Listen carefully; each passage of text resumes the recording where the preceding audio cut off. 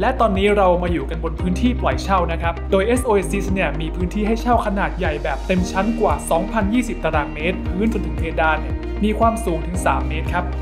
คันนี้ยังเป็นมิตรต่อสิ่งแวดล้อม ตั้งแต่เริ่มกระบวนการสร้างไปจนถึงการเข้าใช้งาน กระจกถูกออกแบบมาให้ช่วยกันรังสีและลดความร้อนไปในตัว กับเซ็นเซอร์ตรวจจับแสงธรรมชาติของหลอดไฟ LED และที่สำคัญ คือระบบกรองฝุ่น PM 2.5 และระบบฟอกอากาศพร้อมฆ่าเชื้อโรคด้วยแสงจากหลอด UVC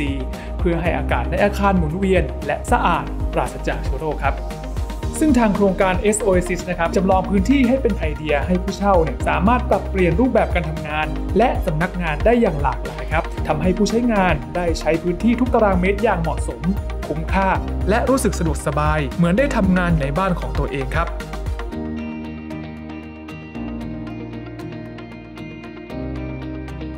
โครงการ SOSIS นะครับตั้งอยู่ริมถนนวิภาวดีรังสิตใกล้กับสถานี BTS หมอชิด MRT จตุจักรและสถานีกลางบางซื่อครับ